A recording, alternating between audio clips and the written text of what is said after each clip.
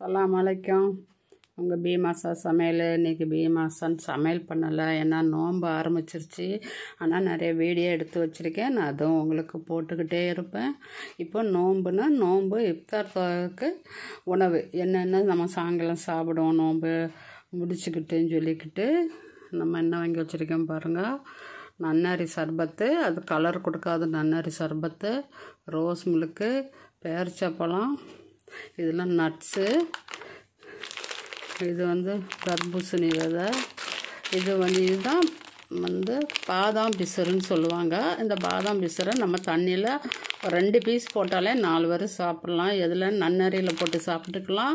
அப்புறம் வந்து ரோஸ் மிளகுலையும் போட்டு சாப்பிட்டுக்கலாம். ரோஸ் மிளகு வந்து சிறப்பு வாங்கியிருக்கோம். அப்புறம் வந்து ஜப்ஜா விதை வாங்கியிருக்கோம். அதுவும் வந்து நன்னறியில் போட்டுக்கலாம். ஊற வச்சு. இது வந்து அத்திப்பழம் காஞ்சது. இது உடம்புக்கு ரொம்ப நல்லது. சூடாக இருந்தால் சாப்பிட்டுக்கலாம். இது சாப்பிட்டா மோஷன் டைட்டாக இருக்கப்பட்டவங்க ஃப்ரீயாக மோஷன் போகும்.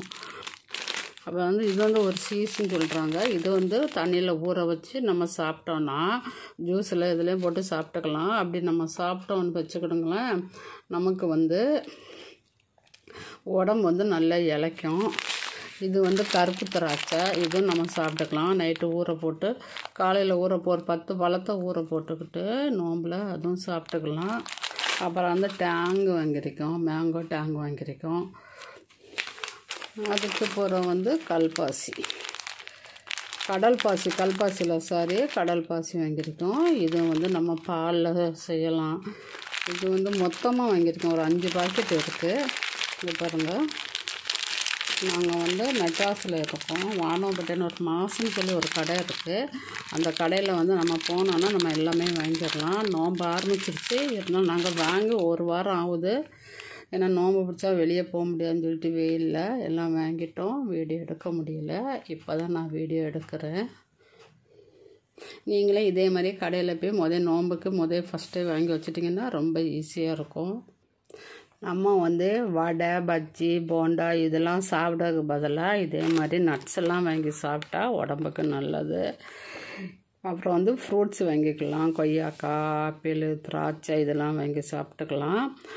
நம்ம கஞ்சிக்கு தொட்டுக்க வந்து நம்ம என்ன பண்ணுறோன்னா எப்போவுமே நம்ம வந்து ஆயில் ஐட்டம் எடுக்கிறோம். அதுக்கு பதிலாக நம்ம ஒரு பொரியல் பண்ணி வச்சுக்கலாம் கஞ்சிக்கு தொட்டுக்கிறதுக்கு. உடம்புக்கு நல்ல ஹெல்த்தியாக இருக்கும். பாருங்கப்பா. இப்படி ஒரு ரெண்டு பீஸ் போட்டாலே போதும். ஒரு நம்ம நாலு டம்ளரு ஜூஸ் அடிச்சிடலாம். அந்தளவுக்கு ஊறி நிறைய இருக்கும். நீங்களும் இதே மாதிரி செஞ்சு போடுங்க இப்படி போட கஷ்டமாக இருக்குன்னா நீங்கள் மிக்சியில் போட்டு பொடி பண்ணி கூட வச்சுக்கலாம். பாருங்கள் எல்லாமே வாங்கிட்டோம். இன்னும் நிறைய ஐட்டங்கள்.